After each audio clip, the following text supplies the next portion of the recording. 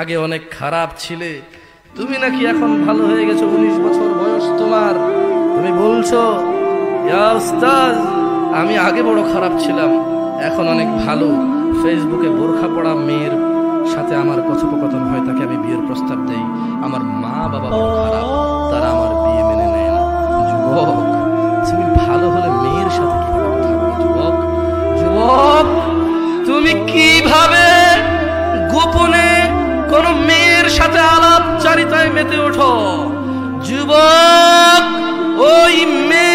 পর্দাসীন হয়। সে তোমাকে কীভাবে অ্যাড করে? তোমার মেসেজের কীভাবে উত্তর দেয়? যুবক, তুমি যদি এতই ভালো হও, তুমি কীভাবে তিনি আপুর মেসেজের অপেক্ষায় থাকো? তুমি কীভাবে এটা করো?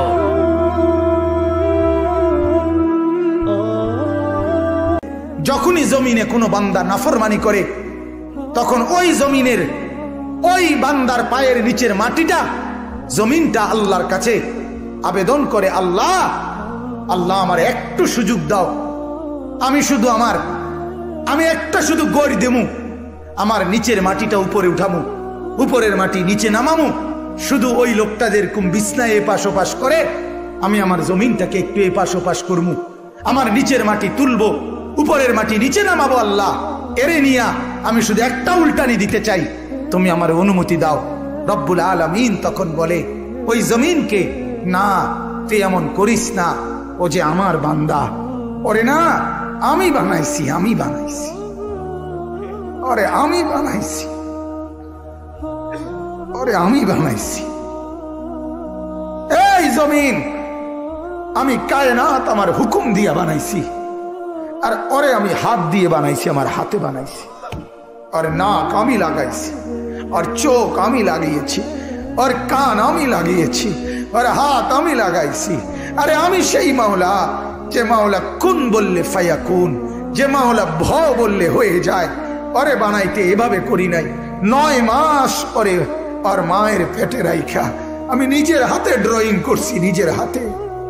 একবার নাক লাগাই একশো বার দেখছি ঠিক মতো হয়েছিনি একবার চোখ লাগাইয়া কুঠিবার দেখছি ঠিক মতো হয়েছিনি ঠিক মতো হয়েছিনি এইভাবে নয় মাস আমি তারে যত্ন করে সাজিয়ে, সুম্মা আখার, আমি তার এক মানুষ বানিয়ে, এরপরে মায়ের পেট থেকে আমি বের করেছি, যাকে আমি এত যত্ন করে বানাইছি রে, তারে এত অল্পতে কেমনে মেরে ফেলি? না, তুই একটু ক্ষান্ত হ, দেখি না ও তওবা করে কিনা। ও ফিরে আসে কিনা? দেখি না। আহ এমন একটা সময় আসবে যখন আল্লাহ নূরপুরিও থাকবেন না। এমন একটা সময় আসবে হাফিজ উদ্দিন সাহেব হুজুরও থাকবেন না। এমন একটা সময় আসবে, আমি মামুনুল হক ভূপৃষ্ঠে থাকব না। আমাদের পরবর্তী সন্তান যারা আছো, তোমরা শপথ নিয়ে বাড়িতে ফিরবে। তোমাদের জীবনের শেষ মুহূর্ত পর্যন্ত শামসুল হক ফরিদপুরীর মতো যখনই দেখবে আল্লাহর করণের বিরুদ্ধে কেউ বিসৎকার করছে, আল্লাহর আইনকে কেউ কেউ অসম্মান, অপমান করবার চেষ্টা করছে, জান কোরবান দিয়ে।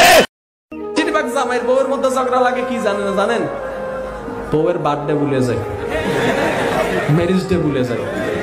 আমার বোনরাও বুঝতে চেষ্টা করে নাকি জামাই, পুরুষ মানুষ। মনে রাখবেন এই জিনিসটা।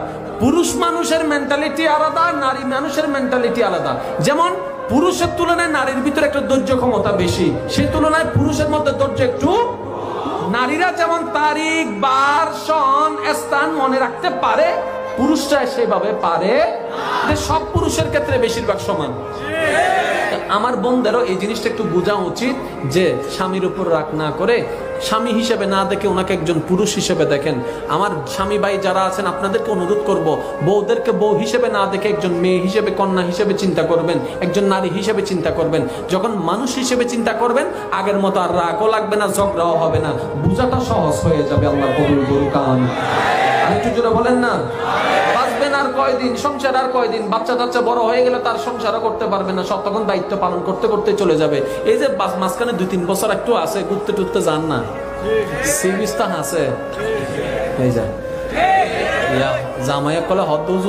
আর বউয়ের তিন দিন ধরে দেয় লাই আজ আইয়ের আরও তোলা দিন নাই ভালো না